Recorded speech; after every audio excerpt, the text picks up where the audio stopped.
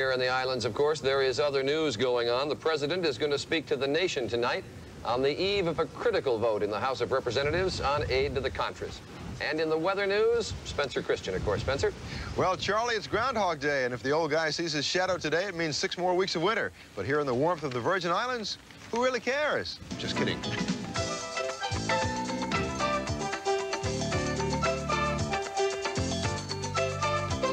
Thomas, one of the, the biggest and the, the capital of the Virgin Islands. And we're going to be taking a look at today at an island called St. John. It is the smallest and it is the least populated. But for all the beautiful quiet and peace and serenity, they of course have their issues that they have to deal with here, just as we do back on the mainland. We'll be taking a look at some of those issues today. Yes, it's quite something here in the harbor. We've, we've got a little pattern now of a few morning clouds, yes. a little drizzle, and then it clears up in the afternoon. You get some the feeling that we bring this on? some of the cruise ships coming in. Now, there's going to be yeah. 10 uh, these big cruise ships coming in, 10,000 yeah, passengers oh. coming into this port uh, just for a one-day stay on the cruise ships. Of course, there's lots of atmosphere here to soak up and to send your way, which we're going to do is we give you this sort of little a vicarious vacation for the week back home, although I understand the weather back in the mainland's pretty good as That's well. That's right. Um, we, it really clears up. We were in the pool all day yesterday. It's really great. This morning, though, we're going to give you the ins and outs and the ups and downs of windsurfing as they do it down here. It's something that you might want to try in your living room. You can just flood the floor. and Absolutely. but we're going to show you about windsurfing. Uh, also, we'll have a look at the island nightlife. Uh, Dynasty's John James is going to be here this morning. First, though, of course, we go down. Townsville Park today. Let's see over the Virgin Islands today, warming up to the low 80s. Winds uh, still a little strong, but showers will be blowing. With your forecast. Heading to work this morning, be sure and bundle up and buckle up. Here's your forecast. Cloudy and cold with a little bit more sleet possible.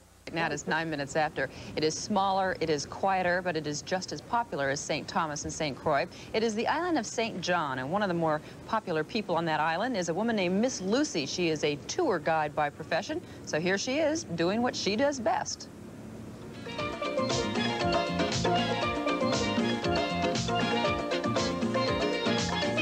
Welcome to St. John. This is our little town of cruise space, see? And I usually meet my folks here and give you a tour of a pretty little island of St. John. Okay, come along with me.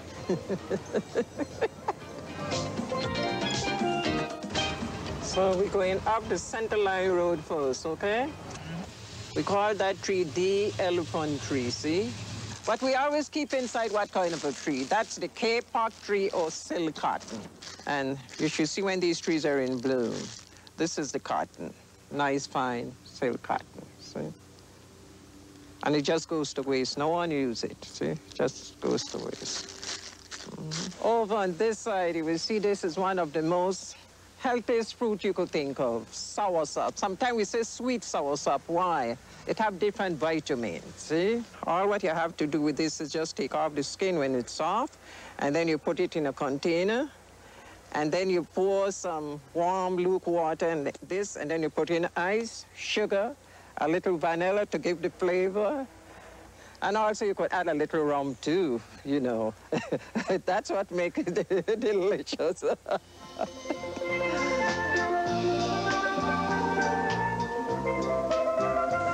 here we are in Gallows Point in Cruz Bay. This is the place where they usually used to hang the slaves, but now it's a hotel.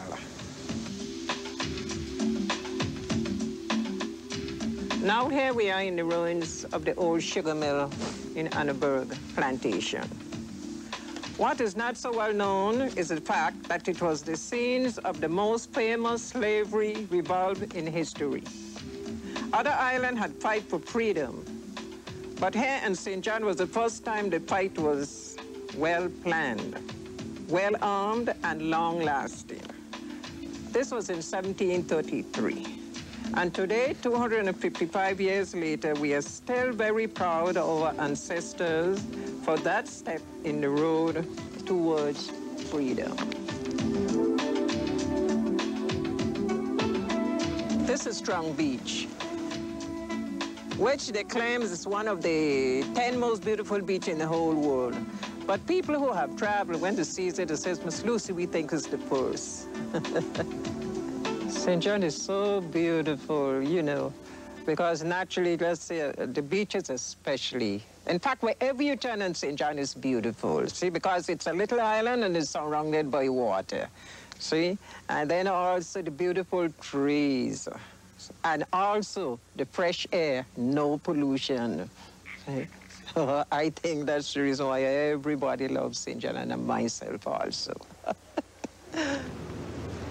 Oh, thank you, Miss Lucy. Right now it's 13 minutes after 7. What makes the Virgin Islands tick? A look at the...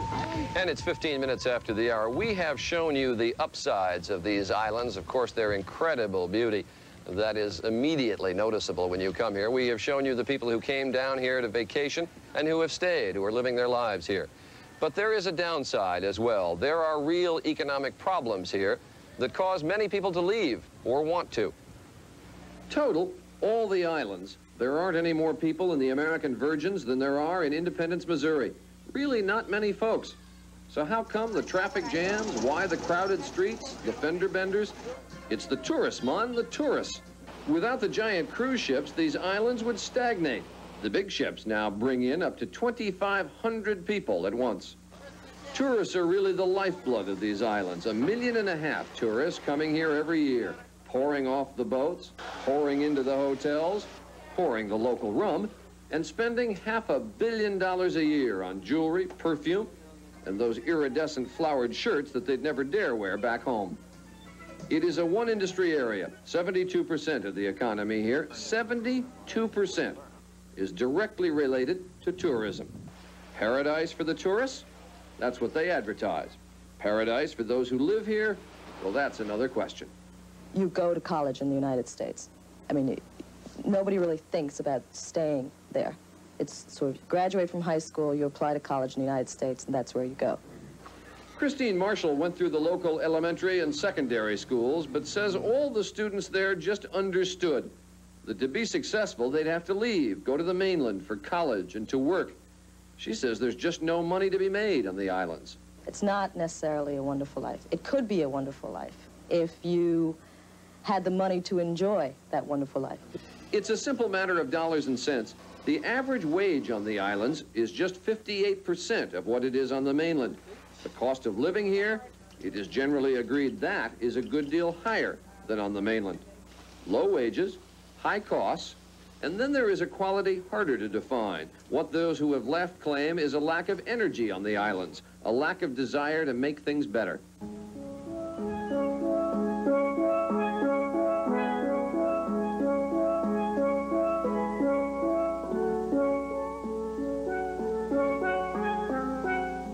Victor Brady left the islands to make his fortune in New York as a steel piano player, as he calls his instrument, but he intended to return. He did all right, and then found the islanders didn't want him back.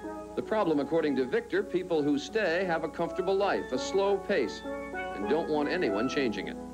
I'm rejected, man. I'm a reject. When I went home in um, September 1985, the people called me an alien. Now, uh, these are people I grew up with. You see people who are in professions that they're um, not, not, competent to, to, to, to run uh, efficiently. And they stay on these jobs without being fired. Man, they should fire them. You don't have the people bringing the experience they've gotten in the United States back to the Virgin Islands. That stays away. And so it is mostly the poor who stay, like Joy Middleton, who is 29 years old, living in public housing, with seven children under the age of nine. She has pulled herself off welfare, but faces the grim reality on these islands that the median household income for blacks is just over half the median household income for whites. First, because influx from other islands, non-American islands, provides a ready supply of cheap labor. And second, because the tourist industries, she says, the hotels and shops, want white help to serve the mostly white tourists. And blacks get the more menial jobs. I'm off assistance. I'm working for the local government now, but I'm still under the poverty level. Because our poverty level here is ten to fifteen thousand dollars a year, and I'm not near ten or fifteen thousand dollars. It boils down to a simple fact. You may envision the good life in a place like this, it's just that not many people can afford that good life. Well, Sure, but you can't live on the beach and drink margaritas every day. well, something's got to buy the margaritas. and if you can't afford to buy the margaritas, it's not that much fun. And with us now uh, here in our set on the St. Thomas is one of those key figures in the Virgin Islands move toward diversification. He is the Commissioner of Economic Development and Agriculture, Eric Dawson. Nice to have you with us. Nice to be here, too. The governor, when he was here yesterday, talked about diversification. It is obvious from those who talk about the economic situation here, it is necessary.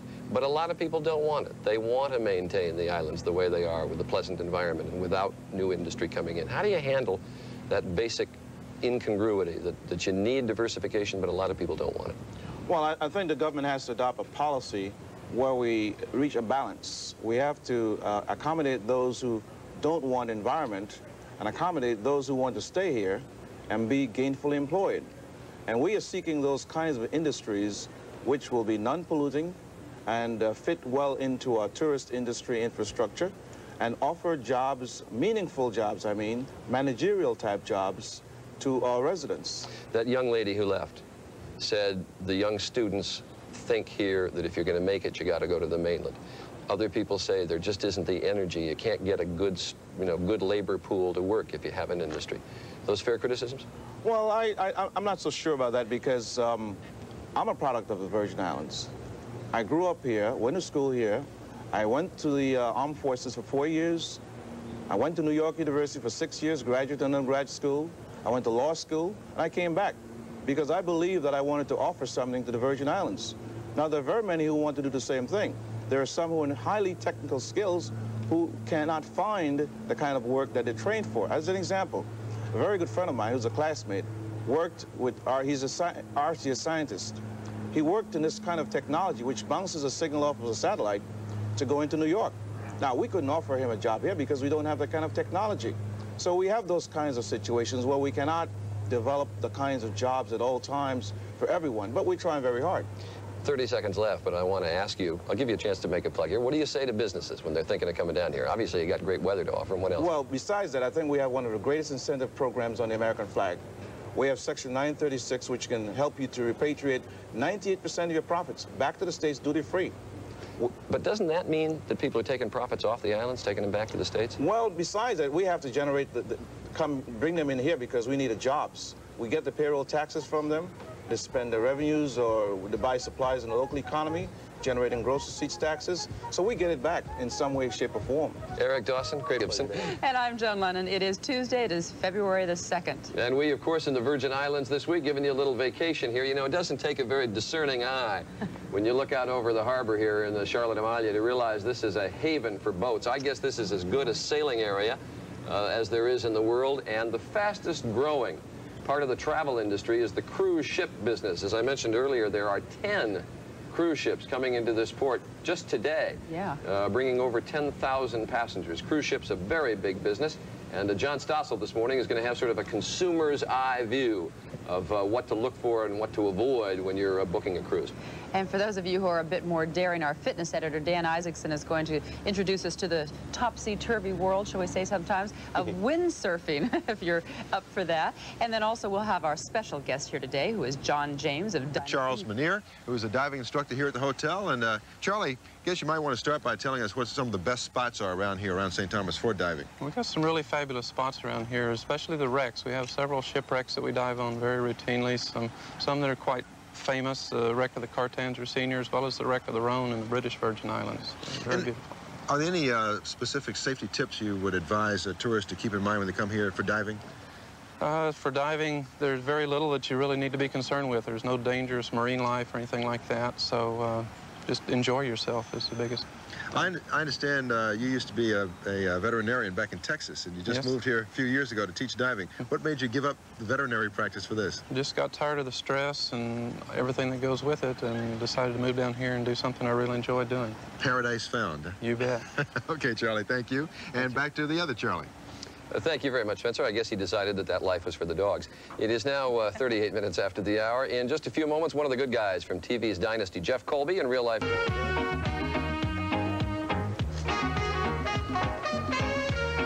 It is now 740. John James is taking a little break from the hot lights of the set of Dynasty to come down and enjoy some of the hot sun here in the U.S. Virgin Islands. We usually talk to you in, in Los Angeles yeah, where it's 4 o'clock in the morning or something. This is our payback, right? yeah, I mean, it, this certainly beats doing those live feeds, I got to yeah. tell you, 3 in the morning. Wait, when you do have time off from Dynasty, what do you normally do? I'm told that you travel a lot. I enjoy traveling. I find that um, I was talking to a fellow last night at a restaurant here in town and he's been all over the world, and he was a great, great character. And he was saying how much he's learned just from traveling. And you can't read about it, you can't see it on television, but when you experience it, uh, you really learn a lot about, you know, the first thing I did is I pulled out all the fun fact books about the Virgin Islands and finding out its history and who discovered it in Columbus. And, and I enjoy that, and I enjoy the sense of history that, that you learn from, from traveling. What kind of places have you gone? Well, I've been to Africa. I've been Ooh, to exciting uh, all over Alaska, uh, Europe, South America. I've been very fortunate. Mm, has Dynasty, you know, a lot of the big shows, they travel in mass, but I don't, Dynasty hasn't really done that much travel. I think if we, uh, we have trouble just traveling across the street as a group. I mean... I'll bet you do. Yeah, it's, it's a pretty big group we've got there. We usually don't travel. We've only gone to Denver once. And that was for the carousel ball that Marvin Davis gives for uh, children, uh, childhood diabetes. And that was a few years ago, and uh, just a few of us went, but we usually try and stay in, in, in the studio. Eight years now as Jeff? Eight years. Yeah. Do you ever get sick of the role? Although with all the stuff you go through. no, I don't. I don't. I, um, I like to work. That's, that's the thing. And I, I like, yeah, that's, I think that's the bottom line, and I enjoy our group. I enjoy the uh, the crew, and I, I just every morning I, I get up, I really like like getting there. When the day finally does come, though, when when it when it ends, or if you move on, what kind of a role would you see yourself in? You know, five, eight years down the line. Whatever? I'd like, I don't know, if I if I could come up with a, a character uh, that would people would remember me for, like the I don't know, the Clint Eastwood characters or the the Sean Connery and, uh, well, well, wait, James Sean Bond. Connery. You were, I'm told, one of the, I think the only American who was considered for the role of the new James Bond. Didn't they fly you over there and talk to you about that? No, actually, uh, uh, my agent, it was in, at MGM, and I met with Cubby Broccoli, the uh, producer. And they called me and said, would you like to uh, meet with us about playing James Bond? And uh, I thought it was very flattering. On the other hand, I thought, well, I don't know, because I am American, and I think it should be an Englishman playing this role. Can you do an English accent? Could I? I probably could, yeah. but I'm not going to do one here. but that is the kind of role you're talking about. Yeah, something like that. Uh, I told him, unfortunately, I, because they were filming uh, during the time we were filming uh, the Colbys at the time, I said I'd love to do it if we could film at, at night and on weekends, but otherwise I really can't do it. Yeah. But it was flattering to be asked because uh, I really wasn't expecting that. And, uh, it was... Well, you made a lot out of the role of Jeff Colby. When you first went there, was that the role that you went to audition for? No, it, uh, You were auditioning for... Originally Stephen, Stephen, yeah. I screen tested for Stephen. They didn't really have Jeff Colby. Jeff Colby was added later, actually, because he was going to be, I think, in only five shows then at the time. Caught and it, caught about the second year, yeah. You bet. Well, it's good to have you down here. We'll Thank uh, you. arrange a little sun for now you. I'll, I'll give you, I'll give you two live LA feeds for this trip. Then, right? okay, our, our payback now. John, good to see you. Good Thanks. to see you, Joan. Thank you. And we'll be back in just a moment. Stay with us.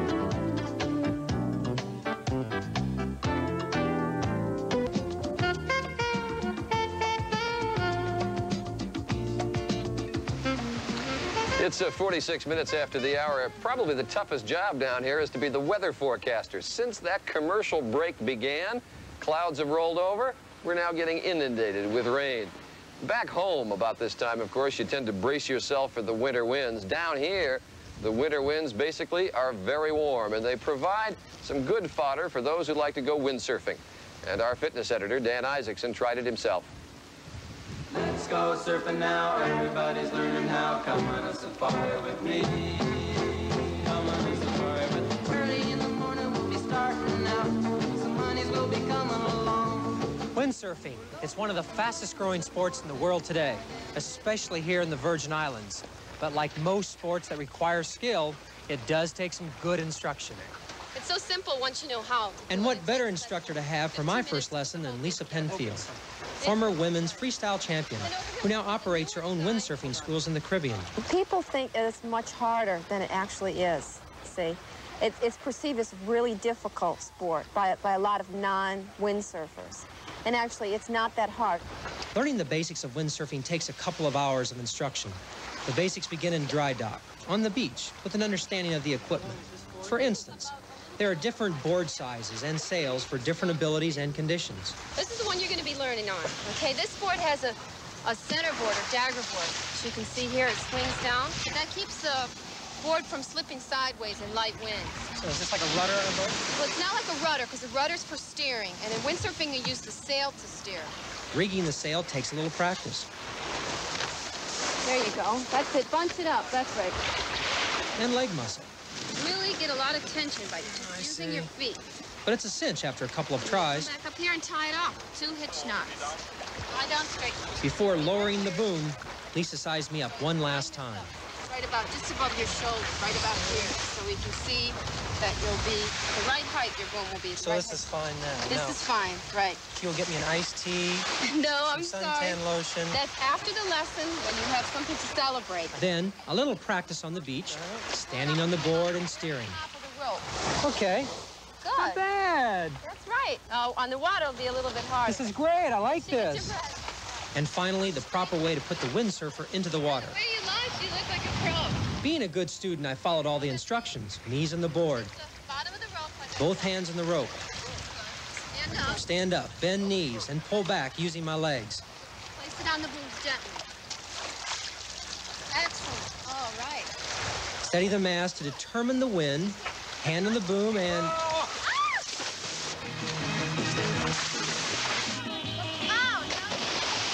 it seemed easy on Sam. Surfing USA. Everybody's going surfing. Surfing USA. Finally, not bad. It really has been only a couple of hours, and I'm up. Windsurfing, like other skill sports, takes time and practice and a little finesse rather than strength. Windsurfing improves balance, coordination, arm and leg strength, and it's fun. Most importantly, it always provides the perfect floor for any fall. Thanks, Lisa. And it's 10 minutes of. I tried to get a windsurfing lesson, but for some reason, Lisa was booked for the next two years. It is now 7.52. One of the most popular ways to come to the Virgin Islands is by cruise ship, and about a million American tourists do that every year. And our consumer editor, John Stossel, was delighted to look into cruise ship travel at first. Well, while the rest of Good Morning America is having a great time in the balmy Caribbean, I'm freezing to death here in New York Harbor. Maybe next time they'll take me along. But I really had to be here because if you're going to do a report on cruise ships, you have to include this one. This is probably the most famous. It's the QE2. It's here in New York taking on passengers for a trip around the world. The Queen Elizabeth has always been among the most elegant of cruise ships. The ship's appointments from stem to stern are the finest on the seven seas. Mm-hmm. Though she's had plenty of competition. Look at the dining room in the old Normandie. These old ships were almost put out of business in the 50s because jet planes made the trip so much faster. Business dropped until Today, the cruise business is booming, and Love Boat's one of the main reasons for it, say travel agents. The TV series simply made more people think about cruising. Carnival spending millions on Kathie Lee's TV commercials hasn't hurt either. Now the ships sail more slowly, and people pay more attention to enjoying the trip than to getting someplace. Miami has become the busiest port, and this ship, Sovereign of the Seas, is now the biggest liner. It's taller than the Statue of Liberty. The ships leave Florida and stop mostly at Caribbean islands. Some passengers don't even bother getting off. There's enough to do on the ship. There are all kinds of gyms and gym classes, indoor and outdoor pools. Of course, outdoor activities depend on where you are. There's gambling. The ships make big profits here, and shopping. I can't imagine why people would go on a cruise to shop, but they do. There are nightclub acts, even daycare for the kids. We asked some QE2 passengers why they're taking this cruise. It's a wonderful way to vacation. You can unpack and stay put and see the world. I like the life. I like the social life. There's plenty of that, though everyone has different opinions about it. I uh, like the people I meet, although some of them I really don't care for. You do get different types of people on different ships. If you're looking for younger people, agents say you may want to avoid the Holland America and Royal lines. Older people may want to avoid Carnival, which caters to the young. Of course, you don't have to socialize. Some people want to... Unwind and rest, relax. And what does it cost? Well, many lines offer week-long Caribbean cruises for less than $1,000 per person. That includes just about everything, except for alcohol. You can pay as much as $4,000 for those cruises. That mainly gets you a fancier room. Here on the QE2, the best rooms have king-size beds and balconies and big fancy bathrooms. The room costs $500 per person per day. This more run-of-the-mill room costs less than half that. And finally, cheapest of all, at $180 a day, is this. Now, this is a lot smaller, though. It's not bad. It's not tiny. Wouldn't bother me. Some ships have even smaller rooms. Honeymooners should take note, though. Twin beds. That's common on cruise ships. And some of you may find a room like this claustrophobic. The ceilings are low. Suppose you want to check the weather. Forget it. No porthole. Only outside cabins have portholes. Finally, you'll save money if you book early. If you make your reservation three months before cruise time, you can save up to 25%. Happy sailing.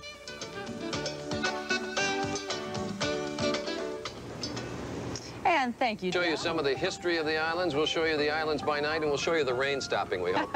we'll also talk about the Blackbeards and the Pirates of the Caribbean coming up next. So stick around. Travel to the U.S. Virgin Islands provided by Eastern Airlines. Come fly with the one that can take you to the sun. Eastern, we've got your ticket to the beautiful beaches of 17 Caribbean destinations. Hotel accommodations on St. Thomas provided by Frenchman's Reef and Morningstar Beach Club. Uh, that they may not have the support they need for the critical Contra aid vote in Congress. And I'm Charles Gibson. We, of course, are here in the Virgin Islands for the week, here to take a little bit of the chill out of your winter. And Spencer Christian's got the weather. He'll tell you how much chill there is. Spencer? Well, Charlie, remains mild in the nation's two southern corners, but... There's a very deep divide uh, between the uh, sets of islands, but nonetheless, they've all been linked historically, and the United States bought them all back in about, uh, what, 19... what, 17? Uh, the U.S. Uh, bought these islands from Denmark for $25 million, which was not a bad buy. I'd say that's a fairly good investment. Yeah, it's hard to believe that February could be so inviting, but that's the way it is here in the Virgin Islands. One of the reasons why so many countries did claim these islands over the years. In this half hour, we'll look at the Virgin Island history and all the people who have settled here, and also at some of the pirates who have prowled the waters down here. Yeah, meanwhile, we're going to also talk about the islands present. This, these uh, islands are a mecca for shoppers. Uh, the Danes, when they owned it, made it a duty-free port, and one of the conditions of the purchase when the United States bought these islands was that they be kept as duty-free ports. So there's a lot of people coming down here. The kind of hunting that goes on on these islands is bargain hunting. And uh, Steve Crowley will be here to tell you what about the weather. We've had about 57 different varieties here this morning already. Right now we've got the overcast windy we're calling for here today uh, with high in the low 80s, which is Dockmaster, among other things, right. and manager of operations for the West Indian Company. And John, what I'd like to know is what exactly does a dockmaster do? Well, a dockmaster basically parks cruise ships and tries to stay away from the grinding of metal and sharp screams and do it right so that everybody has a berth. You don't parallel park them the way we do cars. I'm going to have to one of these days. We have 10 ships due in here today and over a thousand a year, and they're all getting bigger. I understand that uh, you use the uh, most sophisticated devices to help navigate the oh, ships in and out of here. Yeah. You've got the latest in high technology. We're going to take a look at some of the high technology you use right now in, in, parking these ships, as you say. And uh, you can explain what it is we're seeing here. Well, it's the ultimate aid to navigation. That little red uh, roadster there is not really a car. It's a bridge marker. A bridge marker. And all the captains of the Caribbean that come here to the uh, Eastern Caribbean know to park the wing of their bridge right over that little car. And if you buy a new So- car, they'll all get lost. Be chaos in the Caribbean, that's for sure. Thank you, John, the high-tech dockmaster here in St. Thomas. Charlie, Joan? All right, thank you, Spencer. Right now it is 8.11. Well, like its food and fashion, its flora and fauna, even the history of the Virgin Islands is exotic. But when you look back at their European roots, you might be not so surprised to find that they're not that different from ours. When he landed at St. Croix in 1493, Christopher Columbus found a less hospitable welcome than had awaited him on his first voyage to the New World a year earlier. The warlike Carib Indians met the landing party with arrows and sent Columbus packing. But he claimed the new land for Spain, and for the next 200 years, the Virgin Islands found themselves under a succession of European flags until Denmark bought them and held them for yet another two centuries. These were times of prosperity for the merchants and landowners here. Like the Dutch and British and French before them, the Danes knew the value of commerce, and the islands became a major trade link between Europe and the Americas. They were ideal for growing sugarcane as well, and for turning that harvest into what was surely its most popular form, Caribbean rum. But by the mid-1800s, the tide of prosperity was turning. The rum trade declined, and the slaves who worked the plantations revolted and won their independence. Then came nature's fury in the form of an earthquake and a series of hurricanes that all but wiped out the sugar industry. By the turn of the century, as oil became a major source of power, the islands lost their value even as a chief port for the transfer of coal. In 1917, the Danish flag came down when the United States bought the Virgin Islands to keep them from German hands in World War I. It wasn't until the 1950s that the island's economy turned forward again as cruise ships began arriving with the start of a tourist industry that is so much a part of modern history here in the Virgin Islands. And it's now uh, 13 minutes after the hour. We want to introduce you to a face and a voice that is well known on these islands, Jon Lucien. He is a composer and a singer. For 18 years, he went up to the States, uh, worked with other jazz artists like Herbie Hancock. He has twice been nominated for a Grammy. But he has come back here now to live and to work, and uh, he has a special song he composed for us, and actually in honor of the city right behind me, Charlotte Amalie. John?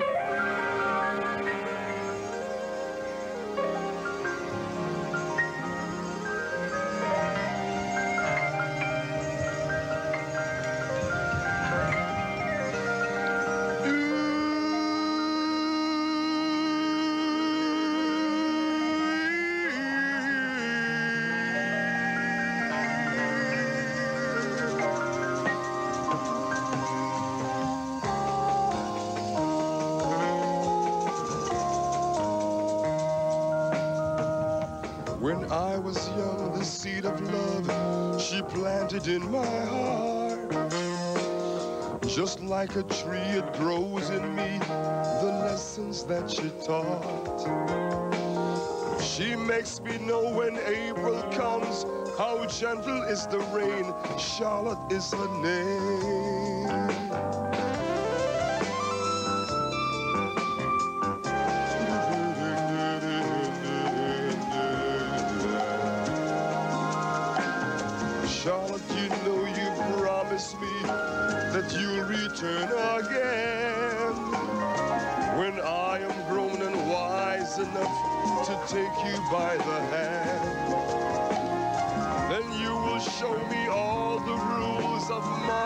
Nature's vow.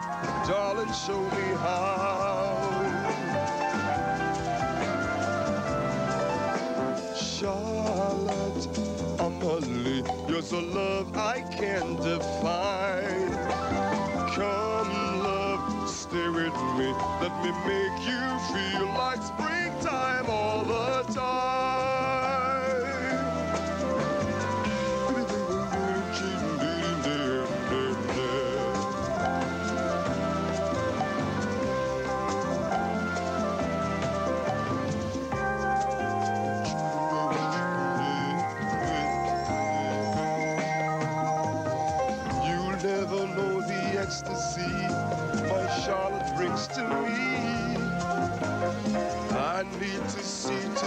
and feel the love she gives to me.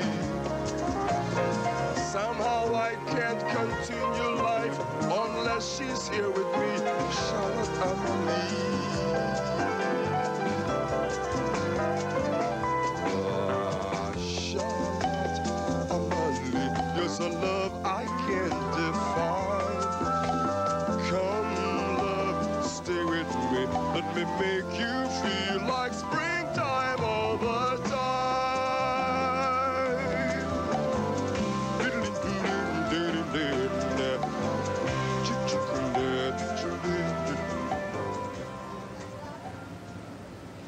John, thank you. And the line about gentle rains, very appropriate for this morning. John will be back with Joan.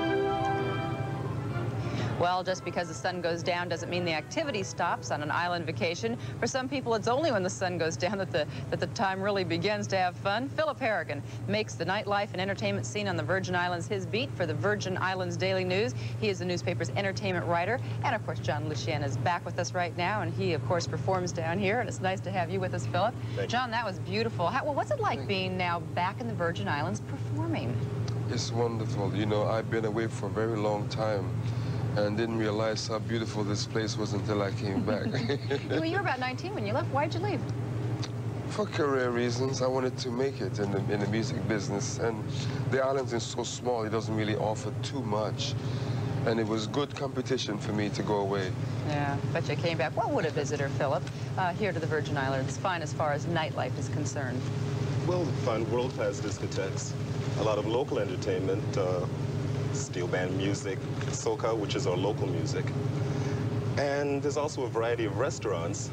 We have everything from French, Italian to, to native food. So yeah, yeah, I was just going to say, besides the, the regular food, what about some of the, the native food? We had a few things here on the show yesterday, uh, and we were sampling them all. Would you find some of those kind of, how easy is it to get out and taste some of the native food? Very easy. Uh, if someone doesn't know where to look, we have a lot of guides that people can pick up that, that You- can tell them where to, where to go. You mostly have local entertainment in the different places. Some people say, well, they don't bring down big, big names to the hotels. Uh, wha how would you respond to that? Well, this is true. Uh, it used to be that it, they would bring down names intermittently, but not anymore. Uh, some promoters tell me that it's really expensive to bring down a lot of big acts here, and uh, Yeah. Just, and you can really get away with just having the local performers because I have heard some of them are very, very good. yes, Yeah. yes, they're excellent. Do, do you have any uh, pressure on you? I mean, this is really a, an industry uh, that is so important to the island, the tourism. Do you have any pressure, since you're writing about the entertainment, to, to write only good things? No, not necessarily. Here, why are you laughing over there, John? Come on. you have some, a lot of really good entertainment down here, though. A lot of good local groups. I heard a steel band uh, uh, group playing a little while ago, rehearsing for us, that we're going to hear in the next half hour, and it was terrific. Uh, movies for Joel Siegel, if he's watching right now. You also have five movie theaters Five down theaters, here, yes. right? So you and video stores. Yes. And you have cable down here as well. Yes. And for getting out, is it ex an expensive place to go out as far as entertainment is concerned, both uh, to to eat and to hear the live bands? No, no, not at all. I would say it's comparable to um, anything that you'd find wherever visitors visitor coming from. Well, you lived up in the States for a while. Where- Yes, I did, in Pittsburgh. For, for 10 For years? 10 years, yes. And why did you leave? I left to go to college, and uh, I liked Pittsburgh. I lived there after I graduated and worked, and I got homesick and came back. I'm told you really missed Carnival. John, you, you like Carnival. What is the Carnival time down here? What, what, what goes on? Rum, sun, and fun. Rum, sun, and fun. what can be bad, right? And you really missed it also while you were up in the States. Can you give us kind of a feeling of the, the flavor of... For me, for me, it's the music. It's a celebration being in the street and having a good time. Why did you return back here to the Virgin Islands? Well, quite simply, I was homesick. I, I miss my family, and uh, the winters were a little hard for me to take. As You don't miss the snow? no. You don't miss the snow? Not at all. Yeah, well, it's so nice to have you here, John. It was good to be able to hear you perform.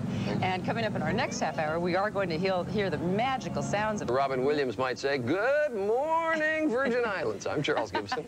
and I'm Joan Lunden. It is February 2nd. Yeah, very nice to be down here. Oh, yeah. Anyone who has watched the old pirate movies, uh, Errol Flynn and uh, Captain Blood and all that, has seen a bit of Caribbean history. Treasure Island was actually set uh, on the Virgin Islands. And in this half hour, Joel Siegel is going to buckle his swash and take us back to those days of peg legs and rum when walking the plank was a very popular Caribbean water sport.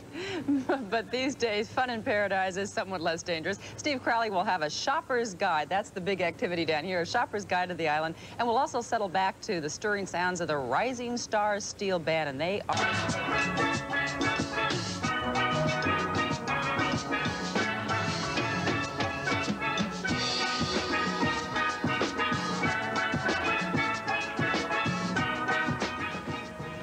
37 minutes after the hour, those are the rising stars.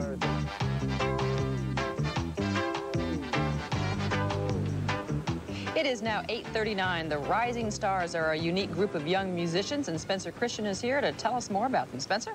Okay, Joan, well, you've heard the Rising Stars play. You know about their musical talent, but they're more than just a mu musical group. Now, these youngsters are part of a, a, very innovative program here in St. Thomas to help cultivate musical talent among the youngsters here, but also to help keep them in school. And uh, Judge Verne Hodge is the presiding judge in the Territorial Court of the Virgin Islands and a founder of the Rising Stars. And Judge Hodge, it's not every day you meet a judge who has founded a musical group. Uh, why did you do this? Because at the court we realized that there's a direct relationship between education and crime. And the workload at the court shows us that it was school dropouts that caused most of the crime. So we got involved to help prevent school dropout.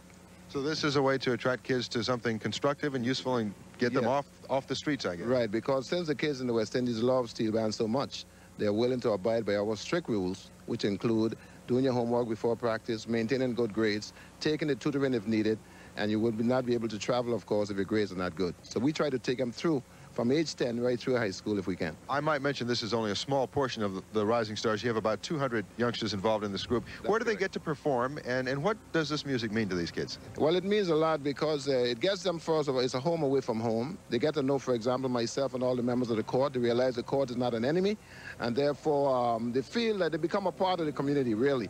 And it helps them in getting through school, and the parents themselves know that they have a source where they can seek help and that's the court. Other than here on Good Morning America, where do they get a chance to display their talent? Where do they play? We've played all over. We've been in the uh, Pasadena Tournament of Roses Parade. We've played in Washington, D.C., at the Capitol, and at Howard University. We've played in, in Puerto Rico. We've played in uh, St. Croix. We've been in uh, Tortola. We plan to go to uh, Trinidad, in fact, later this month. How about getting them to play right now in St. Thomas for us? Sure. Since we're part of America, they plan to play America the Beautiful in Calypso style. Let's get out of their way.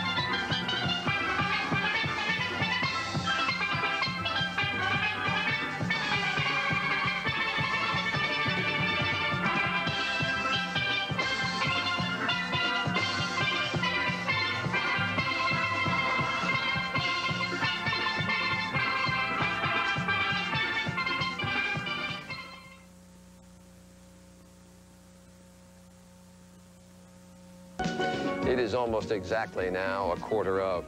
People come to these islands for the sun and the surf and the sand and for the hunting. But as I mentioned earlier, that is really bargain hunting. And our money editor, Steve Crowley, explains why. Sunrise on St. Croix.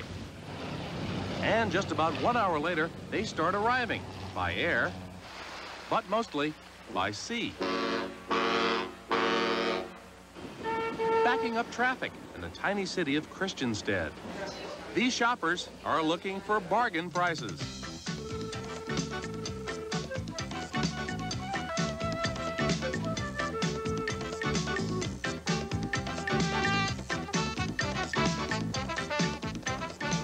Well, I've spent two days on the streets of Christiansted looking for bargains. Let's take a look at some of the good deals that I found. In the fragrance department, perfumes and colognes, I found prices to be an average of from 15 to 25% off stateside list prices.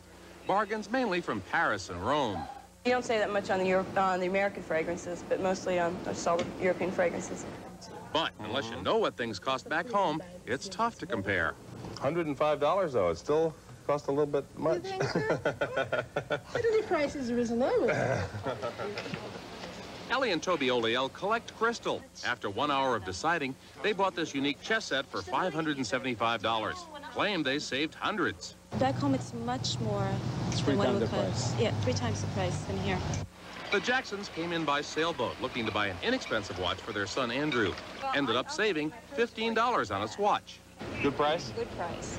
Was a good price. Mhm. But Bob, I guess you uh, found different. Well, I found this Casio watch that was two and a half times more expensive down here than uh, it was back where we're from. Yet I found terrific prices in designer watches with many top names 10 to 30% off stateside retail. This gets my eye. 3850. Less Basic- 25. Less 25.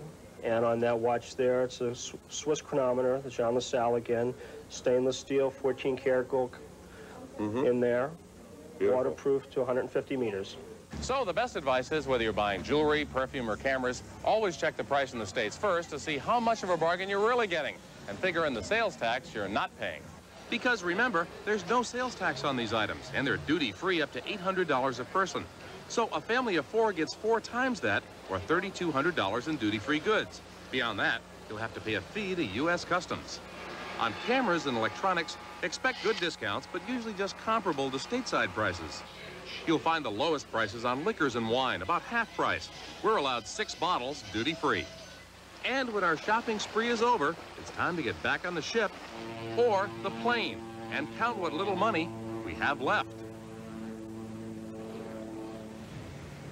All right, Steve, thanks very much. It's now 12 minutes before the hour. Joel Siegel will be here looking at the legendary Pirates of the Caribbean right after this.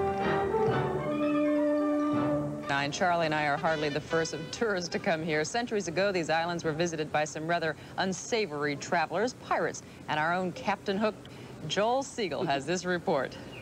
This is Bluebeard's castle, and the story is the bloodthirsty Bluebeard murdered seven wives. Their graves are out back. It's a very good story, but there aren't any graves, there weren't any wives, and there wasn't any Bluebeard. This is Blackbeard's castle. It was built in 1679, but Blackbeard didn't build it. In fact, Blackbeard probably never saw it. But at least there really was a Blackbeard, and St. Thomas really was a pirate capital. St. Thomas was a Danish colony, a neutral port, a perfect port to plunder the French, English, and Spanish merchantmen carrying tons of Indian silver and gold from the New World to the Old. And it's easy to imagine even today ships hiding in these coves and keys, flying the black flag. Blackbeard was the island's most feared pirate. A huge man, he wore six pistols, carried two swords, and lit sulfur fuses he wore on his hat to make it look like his soul was on fire. He had no qualms about murdering his enemies. He had no qualms about murdering his friends.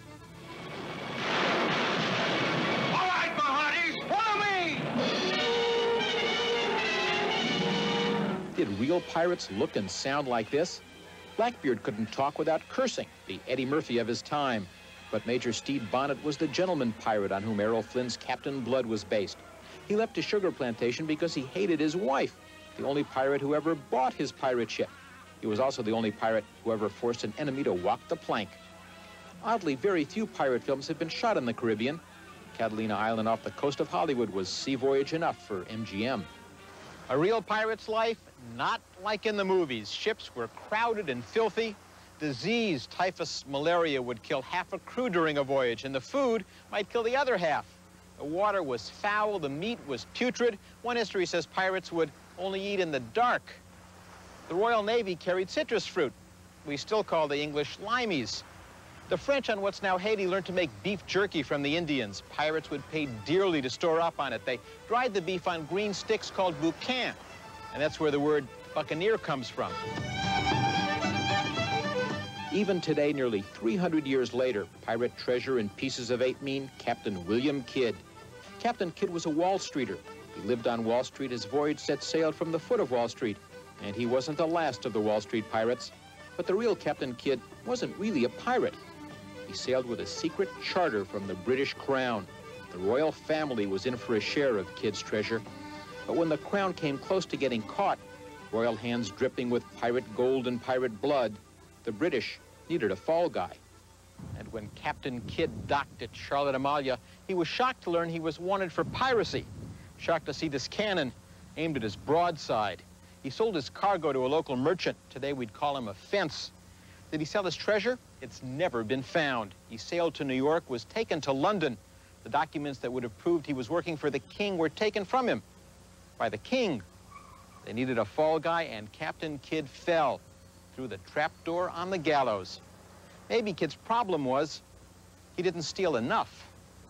Therefore, we do here and now band ourselves into a brotherhood of buccaneers to practice the trade of piracy on the high seas. We, the hunted, will now hunt. Those of you in favor of these articles, raise your right hands and say aye! Aye! And thank you, Joe. We'll be back in just a moment.